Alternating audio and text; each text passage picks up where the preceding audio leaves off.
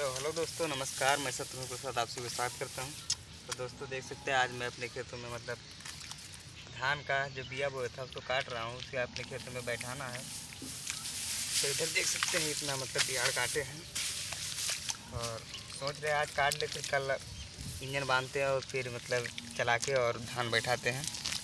तो दोस्तों, बने रहे हमारे वीडियो में, आपको दिखाने वाला हूँ। एक और चीज़, थोड़ा एक मिनट वेट कीजिएगा थोड़ा मतलब अपना पूर कर लें।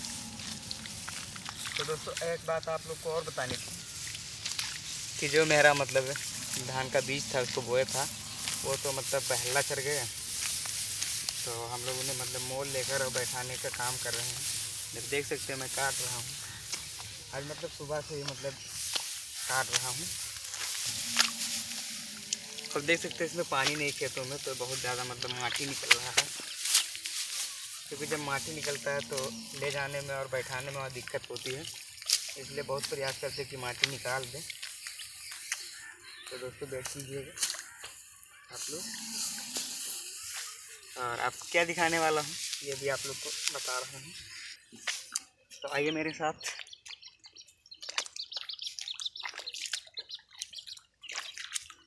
इधर देख सकते हैं दोस्तों, मैं यहाँ पे मतलब काट रहा हूँ। और ये छोटे का मतलब बतख है। देख सकते हैं, मैं यहाँ सुबह से काट रहा हूँ और ये सुबह से मतलब यही खेतों में है और मैं यहाँ काट रहा हूँ, मेरे आगे पीछे मतलब घूम घूम के मतलब यही में जो भी मिलता है खाता पीता है। और बहुत ही मतलब क्यूट लग रहा है, आप लोग देख सकते हैं। और अब घाम भी निकल आया है बहुत तेज़ी से मतलब धूप भी निकल आया है।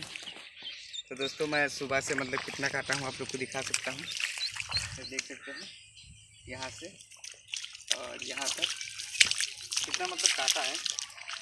और सुबह भी काटेंगे, उसके बाद में फिर मतलब बैठाएँगे। सुबह इंजन बांधेंगे और फिर बैठाएँगे।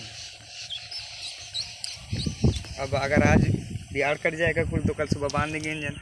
और नहीं कटेगा तो फिर सुबह भी पहले बिहार काटेंगे, उसके बाद में फिर इंजन बांधेंगे, फिर चलाएँगे दस ग्यारह बजे से।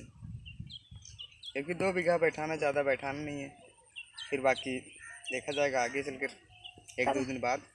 छोड़ो तूने तो दोस्तों अभी देख मतलब दिखा रहा है इसको। देख सकते हैं ये मैंने छोड़ दिया। और ये ऐसे ही मतलब घूमता रहेगा और देखिए दोस्तों। ऐसे मतलब पता नहीं क्या खाता है इसमें हेर हेर कर।